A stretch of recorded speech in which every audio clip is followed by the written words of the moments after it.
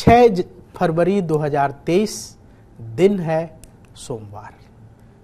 फाल्गुन मास चल रहा है, कृष्ण पक्ष है, प्रतिपदा तिथि है, आश्लेषा नक्षत्र रहेगा।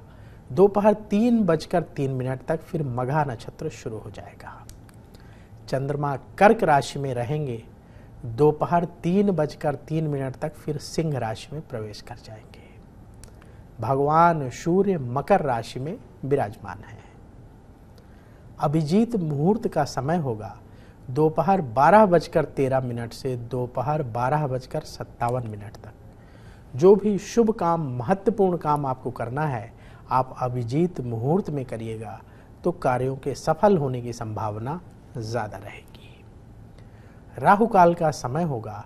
सुबह आठ बजकर उनतीस मिनट से सुबह नौ बजकर इक्यावन मिनट तक। राहु काल शुभ नहीं माना जाता है।